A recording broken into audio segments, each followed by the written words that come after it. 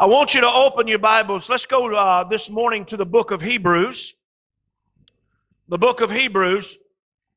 Last week was powerful. Neil brought a great word last week. Can you say amen? Powerful, powerful word.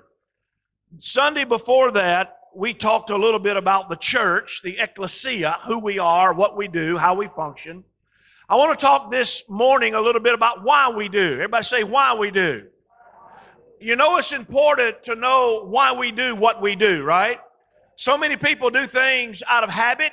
Some people do things out of fear. Some people do things just because they're told to do it. But we need to do things on purpose. When I use the word purpose there, it, the word purpose I'm using in the context of your purpose. We do things in our life according to the purpose or own purpose for what God has called each of us to do. I want to just start with a question this morning, two of them actually. And the first one is, why go to church? Why go to church? I'll follow that up with, that's actually the wrong question. We shouldn't be asking, why do we go to church? We should be asking, why do we congregate? Why do we assemble? We saw last week that we don't go to church, we are the church. Amen? So keep that in mind that we're not, we, today you did not come to church. You brought church with you when you walked in the building. Hallelujah. And in this process, if this is the case, and we look at this, we need to learn why do we congregate? Why does the church congregate? Look at Hebrews chapter 10, verse 19 to verse 25. It says, Therefore, brethren, since we have confidence to enter the holy place by the blood of Jesus, by a new and living way, which he inaugurated for us through the veil that is his flesh. And since we have a great priest over the house of God, let us draw near. Say, draw near. Let us draw near with a sincere heart in full assurance of faith having our hearts sprinkled clean, even from an evil conscience, and our bodies washed with pure water. Verse 23 Let us hold fast, say, hold fast. Let us hold fast the confession of our hope without wavering, for he who promised is faithful. I got to say that one more time. That excites me. He who promised is faithful and let us consider how to stimulate one another to love and good deeds. Verse 25, and not forsaking our own assembling together, as is the habit of some. Oh no. But encouraging one another, and all the more as you see the day drawing near. Let's pray. Father, this morning we're thankful for your word. And Father, we ask that you would give us ears to begin to hear what Holy Spirit is saying to your church. Speak to us this morning from heaven, Father. Let us hear clearly, receive deeply, and walk out strongly and mightily the word that you're bringing into this house today. In Jesus' mighty name, amen. In verse 25, he tells us that we should not forsake ourselves the assembling together. Everybody say assemble.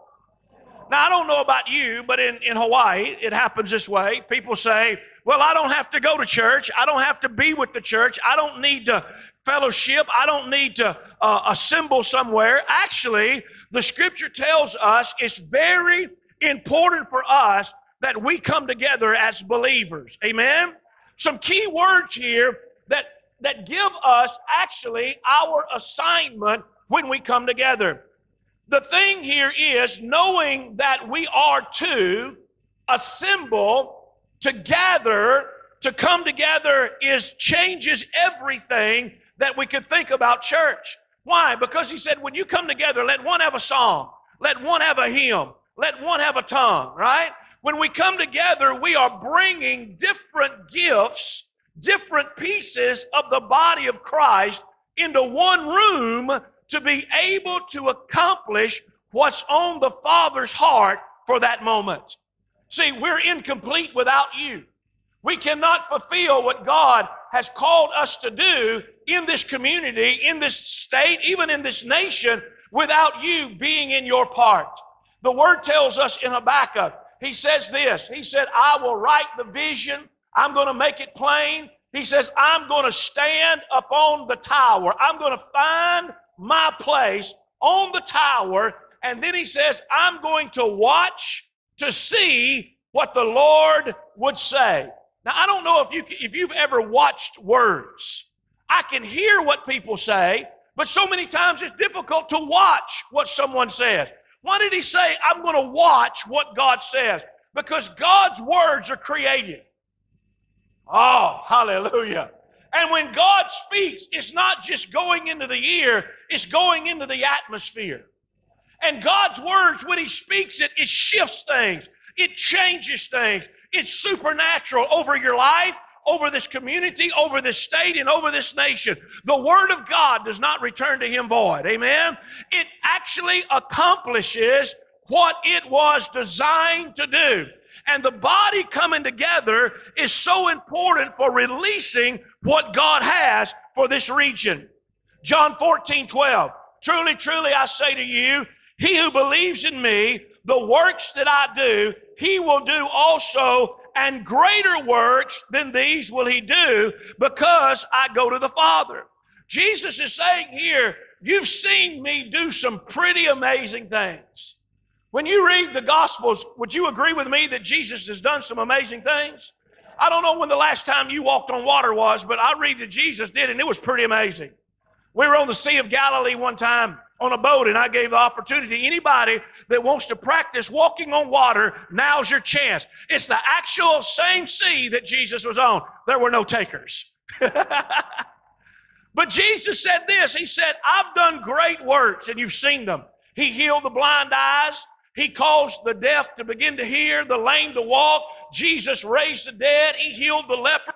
He did all of those things. But he said this to those that believe in me, he said, You will do greater works. So I just decree over this house today and everyone in my hearing that you're shifting into greater works in Jesus' name. You are moving into greater works in the name of Jesus. You may you will never see a sick person healed unless you lay your hands on them and speak over their life. So start putting your hands on the sick and be bold in Jesus' name. Amen. Let God use you to prophesy and give a word of wisdom, a word of knowledge. Let God use you to cast out devils. Most of the church runs from devils, or they put them on the board. Hallelujah. Not here. Hallelujah. Right? we are to be people that have dominion over things that are supernatural. God's going to begin to cause, when we step into this place, God's going to begin to cause things that were not to begin to be. We have been given a grace. Grace is an empowerment to reign.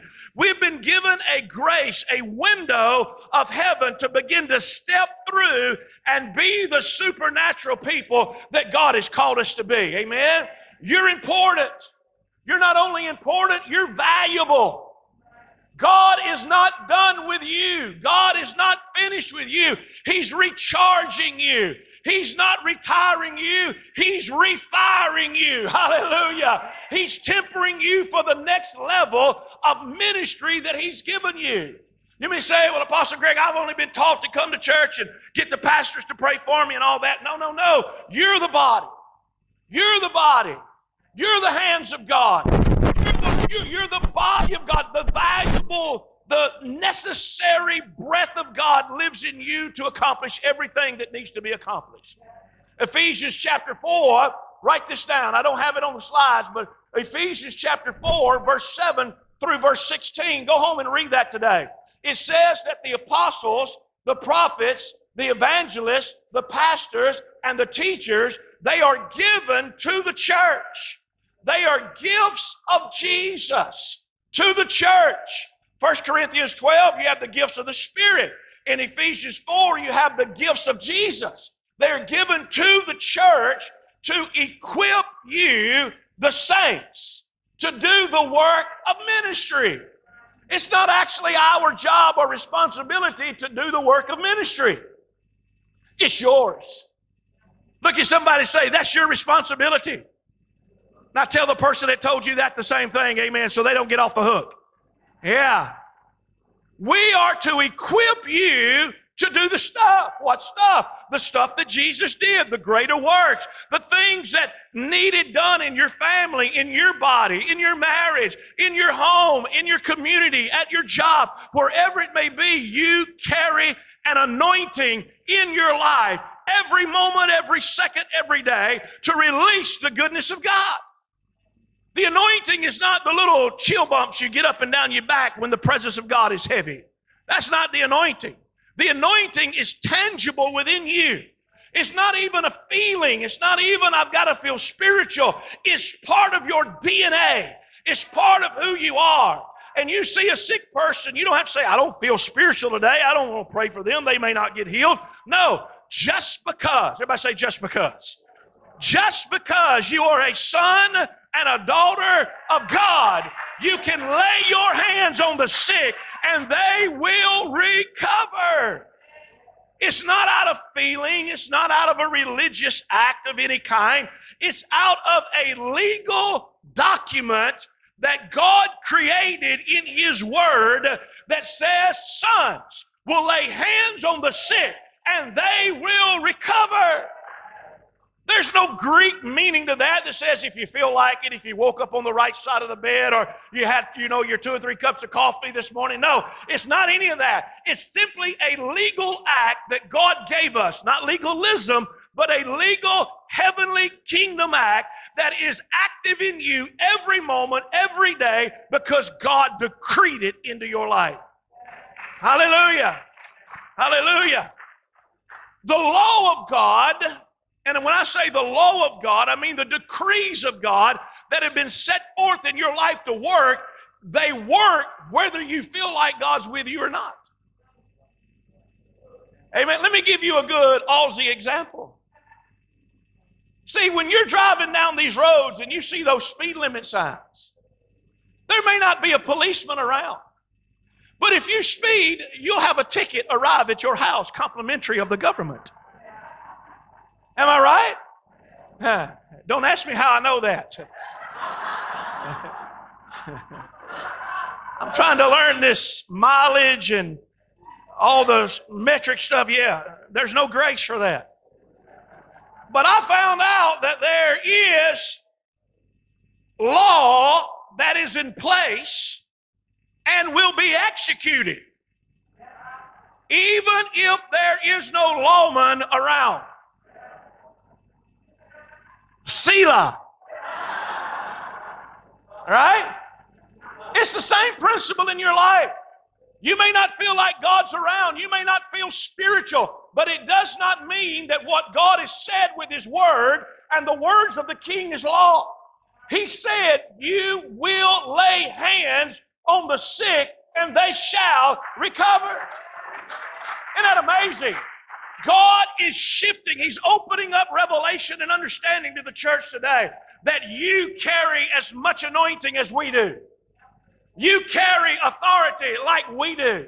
And we are waking you up and shaking you, and we're declaring over you that God is activating you and using you every moment, every day of your life to begin to see people come into God's goodness.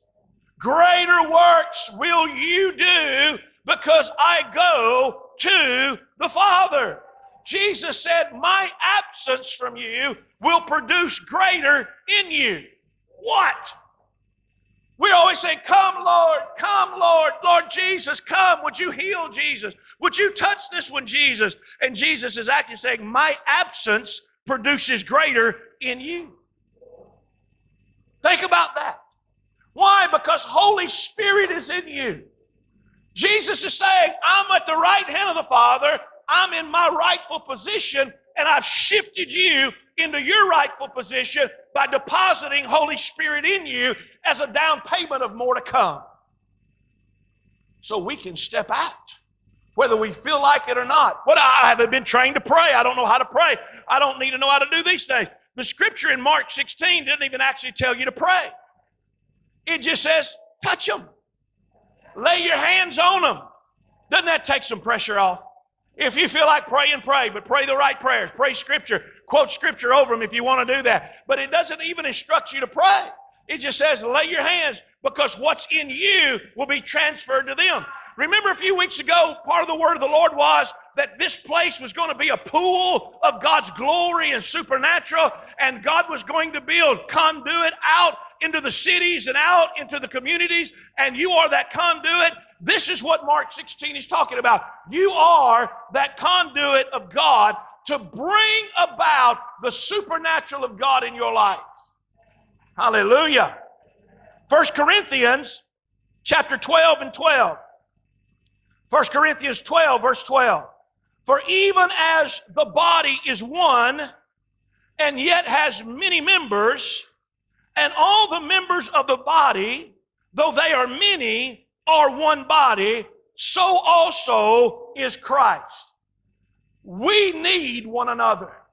God is pouring out His Spirit in Australia in a brand new way. It's not going to come out of the pulpit this time, it's coming out of the chair, the seat, it's coming out of your life. It's not just going to happen in a building somewhere, even though we will see it as we congregate. It's going to begin to happen in your office building, in your shop, in your work building, at the market, at the hardware store, out on the street, out on the beach, because that's where you are. First Peter chapter 2. First Peter chapter 2, verses 1 to 10. I'm just going to start with verse 9, but you can read the rest when you get home. But you are a, now this is God saying what you are. You are a chosen people, a royal priesthood, a holy nation, a people for God's own possession. I don't know about you, but that stirs me up so that you may proclaim the excellencies of him who has called you out of darkness into his marvelous light. For you once were not a people, but now you are the people of God. God, you had, you, you, you had not received mercy, but now you have received mercy. He says here something very, very important. He said, You are a chosen people. You are a royal priesthood. You are a holy nation for God's own possession. And then after that, it gives you an assignment. You're not these things just so you can feel good. You're not these things so you can just say, I'm going to heaven. You're not these things so you can just say, My name is on the roll. No, you can't. It's not for that. It says in this passage of Scripture that God called you and God made you these things so that you might proclaim the excellencies of Him who called you out of darkness into His marvelous light. I am a chosen generation, a chosen people. I am a royal priesthood, and my assignment is to stand out in the midst of those that are in darkness and proclaim His excellencies. Whew. Psalms 139, it says, Oh, your works, they are wonderful, and my soul knows it well. You may say, I don't know how to preach, I don't know how to give a testimony. Well, then just stand in the midst of people and begin to tell them of the goodness of God. What God has done in your life, it'll build hope, it'll bring strength and encouragement. When you begin to declare His excellencies, that's a hard word for a redneck tongue.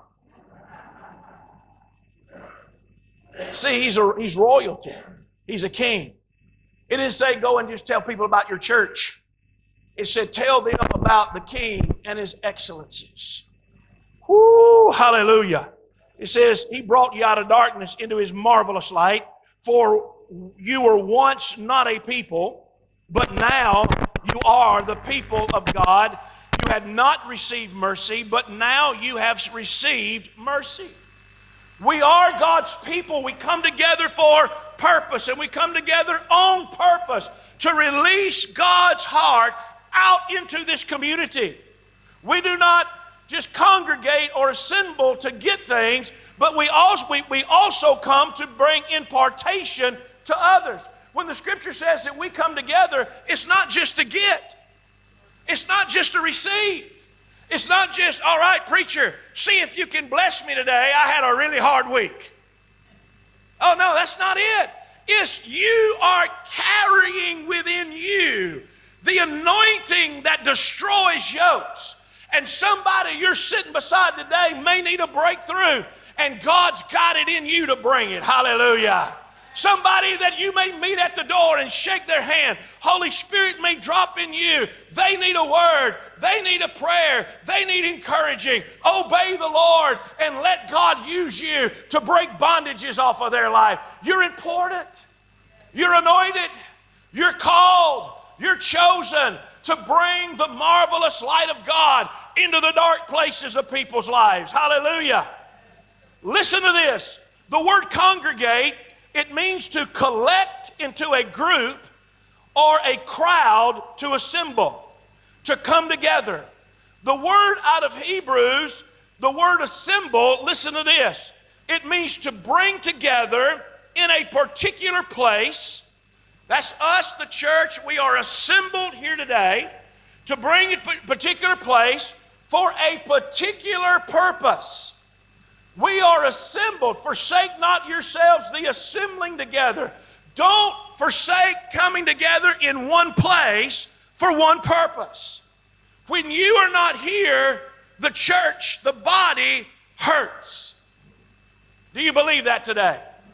Three of you do. My prayer is the rest of you will before you leave. Praise God. You are so valuable. Can you imagine? The scripture says one will put a thousand to flight, but two will put 10,000 to flight. What if we had 200? Whoa, and we're not far from it. Hallelujah. I'm going to just make a declaration. My prayer is before the end of this month, we'll have 200 seats in here that'll be filled in Jesus' name. Hallelujah. You may say, Greg, how you and Neil going to do it? We're not going to do it. You're going to do it. Hallelujah. You're going to bring your friends, bring your family, bring your enemies. Hallelujah. Get the worst person you know that hates you the most to say there's a reconciliation taking place on Sunday morning at 10 o'clock. I want you to come with me because I want us to be friends again. And you're going to sit on one side, maybe they'll sit on the other side, but you'll meet in the middle before it's over. Hallelujah. We've got to do that. We've got to bring people. We say, why don't we bring people to church? We're not bringing people to church, we're bringing people to assemble. We're bringing people together. Why? Because when they meet Jesus, that's a piece of the body that was lost but now found. That was inactive but now is being activated. Does that make sense? And when we reach out and we bring people, we invite people, we go pick up people, we bring them into the house of God, they begin to find their niche, they find their place, and their life begins to be lived on purpose. Hallelujah in a particular place for a particular purpose. Listen to this. Assemble means to fit together the parts. To fit together the parts. Now, men, you will, you will relate to this maybe a little more than the women do. But when you assemble something, like for example, on Christmas morning, you brought your kids a bike and it comes in a box, and that box has lots of parts and you dump it out on the floor and you look at it and you back away and you look at it and you say, I am man. I will conquer. What's that piece of paper for? Right? And you throw the paper aside and you jump in and you get to work, and bless God, you're so good that when it's done, you got parts left over. Right? That's an accomplishment, right? We didn't need all they gave us. We made a bicycle. Whenever you, whenever you look at that scenario, that's exactly what the church is. There's an instruction book that we need to follow to get this thing assembled. You don't want your kid riding a bike down on the river somewhere and, and, and his wheel run off and he go off in the river. You don't want that to happen. We don't want that to happen to the church either. We must read instructions.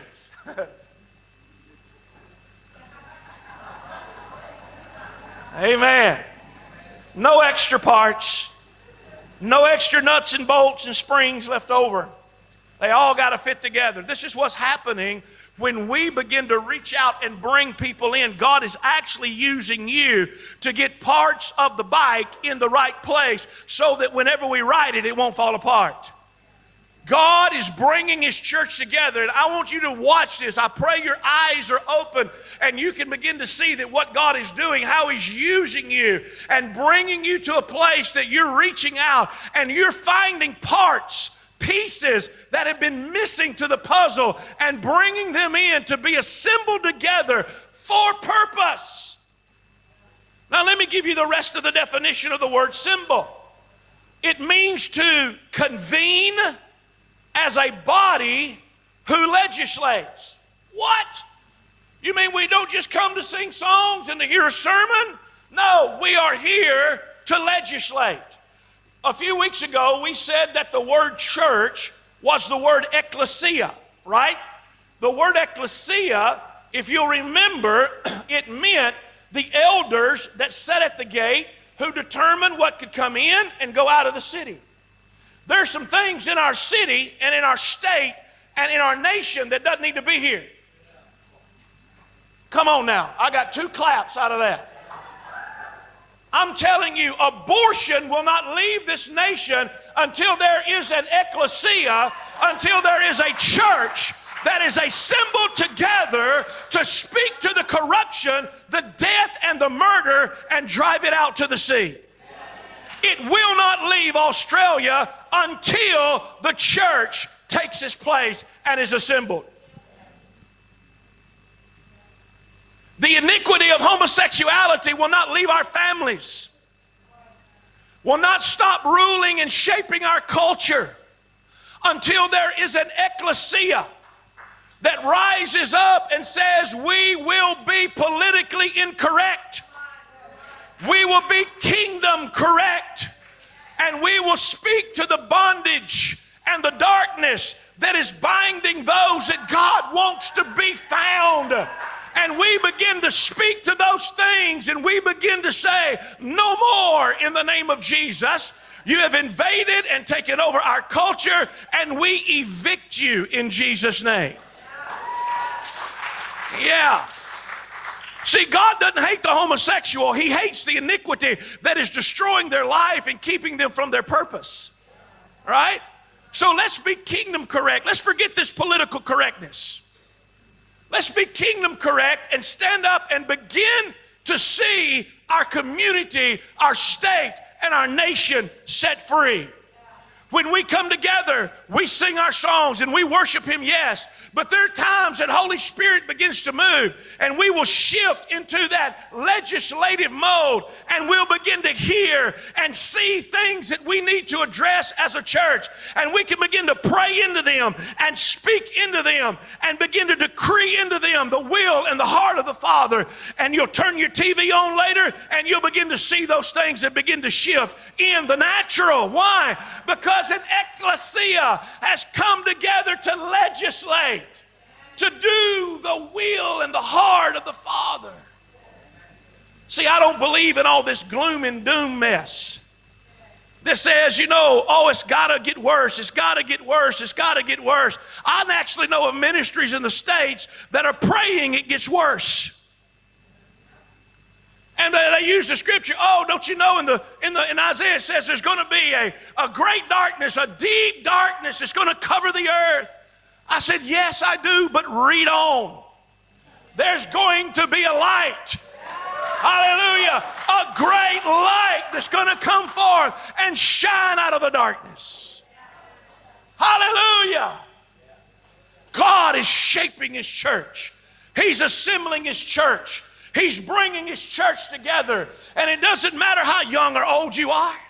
It doesn't matter how gifted you may think you are or you're not. It doesn't matter your education. It doesn't matter your financial status or your social status. If you're part of the ecclesia, the assembling together of the body, you are just as important as the one sitting next to you or the one standing in front of you today. Hallelujah. If this is the case, and it is, we should begin to change our minds and our focus on why we gather together. We've got to shift the way that we think about doing church. I'm going to make a bold statement. Hang on, buckle it up. Hallelujah. If what we were doing as the church had actually been working, our communities and our nations would already be saved. We have been engaged in religious rituals and activities that maybe we got a few saved. I believe the Bible's our example. I'm looking for the day that in Queensland, maybe the Sunshine Coast even, that we see 3,000 people born again in a day. Hallelujah. You say it cannot be. It, maybe not in your world, but in Jesus' world, it can be. Amen. Maybe not where you've seen it, but God's going to show you things you haven't seen yet. Hey, you need to get ready. God's moving and God's shifting and God's changing and He's bringing the church into a place to where we're not just surviving, but we're reviving everything that we touch. We're bringing life. Bible says that the words of, of God, they are spirit and they are life. Ah, hallelujah. Hallelujah.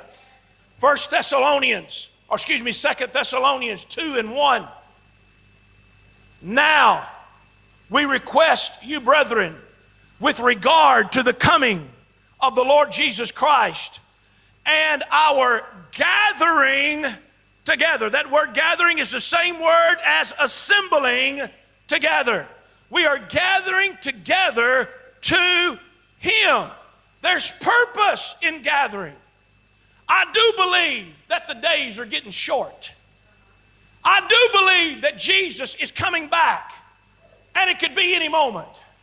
I do believe that we as the church need to make sure that things are ready. Because religion tells, up, tells us that Jesus just could come and slip up on you at any minute. But the scripture actually says, brothers and sisters, that he's coming after a church that's without spot and without wrinkle. We got a lot of spots and wrinkles in us. Hey, get the iron out. Hallelujah.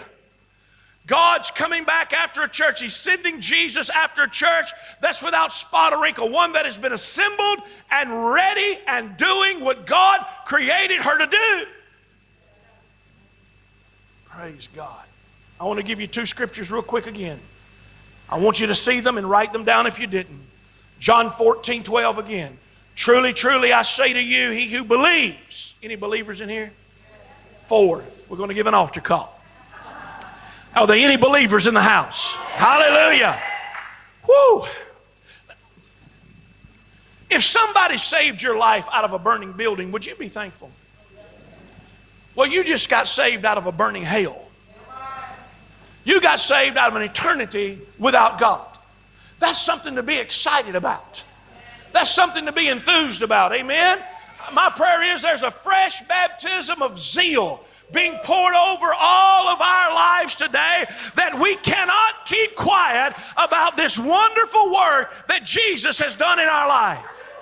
Whoa, hallelujah. Ah, glory to God. Pardon me. Hmm. He who believes in me, the works that I do, he will do also.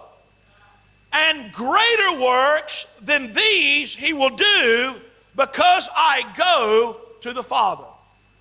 You are a chosen race, a royal priesthood, a holy nation. Uh, now, holy is not a religious term, it's a governmental term. People look at the word holy and they get all the woo, holy, woo. No, no, no, no, that's not it. The word holy is attached to royalty. And it means to be set apart for a purpose. Holiness is not what you're separated from. See, religion says holiness is, is what you're separated from, and you're holy if you're separated from, from all of the evil in the world, if you pull yourself back and you stay away from that evil, then you're holy. That's not the definition of holy. Holy does not mean separated from, it means separated unto. So we're not separated from the evil of the world, we're separated unto Jesus. And Jesus makes us holy, and He puts us in a dark, wicked world, and He says, change it. Whoa! We don't run away from evil, we invade evil. We don't run away from darkness, we invade darkness. We don't run away from challenges and struggles. We step into those things in the name and the power of Jesus, and we see those things changed. His kingdom come, His will be done on earth as it is in heaven. You are a people today that has the entirety of heaven backing you. One of the words we used a while ago was the word repent. Everybody say repent. Repent in religion says, I got to lay before the Lord on my face. I got to cry and blow snot in the carpet. I got to, you know, I got to get up my nose. It's got to be red from where I've just rubbed it on the carpet in repentance. And I throw ashes over myself. And then I've repented. No, that's confession with a lot of drama. Right? Let me give you the, de- the definition of the word repent. The word repent, it literally means this change the way you think. When we tell God we've repented, or we say we've repented of something, we've literally said we have made a decision to think differently about some things. When you repent of your sin, you think differently about that sin and your involvement in that sin. The mindset, your mindset, whether you realize it or not, your mindset is directing your entire life. Amen. You are what you think. I was growing up in the South where we eat a lot of fried stuff. We were told we are what we eat. But that is false doctrine. Hallelujah. You are what you think you are. Right? That's what the Word of God says. So, what do you think about yourself? What do you think about you? Where's your part? You are a part of the body. You do have a gift of God. As a matter of fact, you are a gift of God. Amen. And when you begin to fit into that place, there is a surge and release of power and glory and favor upon your life like never before. We need to stop trying to be somebody that we're not and be who God created us to be. Amen. You know the reason there's a lot of fighting and murmuring and gossiping and all that stuff in church? It's because we're trying to be something we're not. Are you with me? We need to understand that God has called each of us to a very peculiar task, and that task has an operation to bring strength and glory to the body of Christ. Are you with me? Woo! Glory to God, things get stirred up, don't they? I love it. So be who God called you to be. My heart cannot say, Today I want to be a lung. You'll die. Amen. Your finger, your hand cannot say, Today I want to be a toe, and you go walking around on your hands. That's out of order, right? Some of you might walk on your hands good. That's, that's praise God, but you don't put shoes on your hands, right? Where do you fit? What is your role? What is your purpose? When we get this, there is going to be a supernatural explosion within this region like never before. Hmm. Freddie, come on up. Come on up. Listen to this. When you find your place, it allows the church to be greater than it's ever been.